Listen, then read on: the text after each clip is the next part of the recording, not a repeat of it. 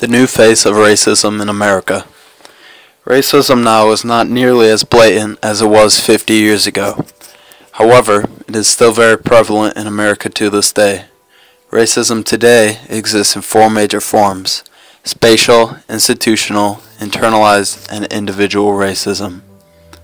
Spatial racism is when a city is divided or segregated into neighborhoods in which only people of one certain race live.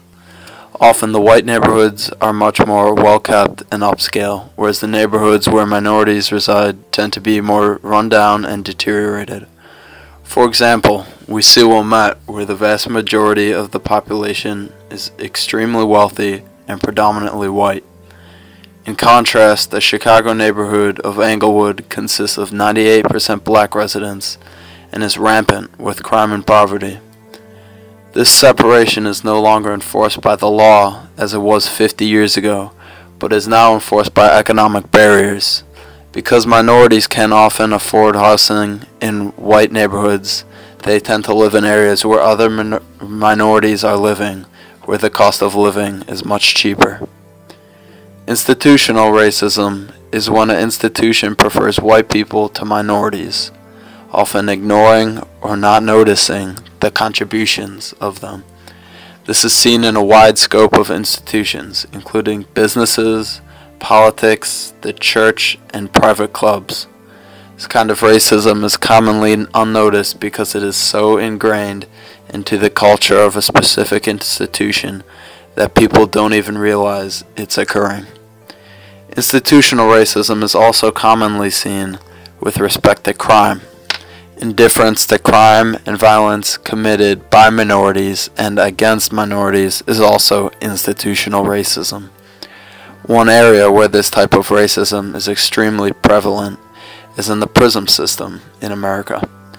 There are many more blacks, Hispanics, and Asians in the prison system than whites.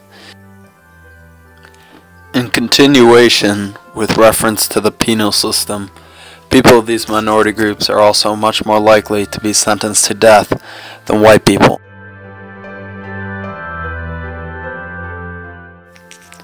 Internalized racism refers to the system in which many minorities are raised.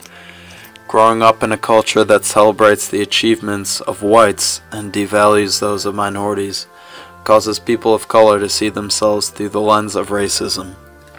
Especially because our society has so few minorities in leadership roles, minorities often grow up believing that they are somehow inferior.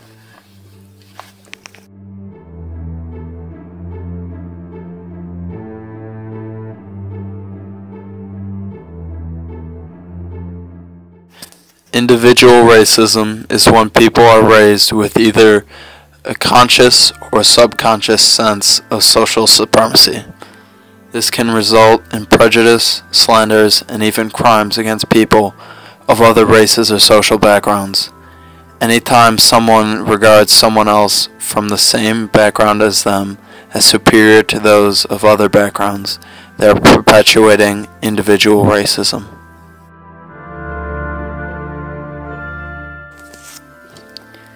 In order to overcome the epidemic of racism, we must accept all humans as our neighbors, no longer seeing other races as strangers, but rather recognizing them as brothers and sisters.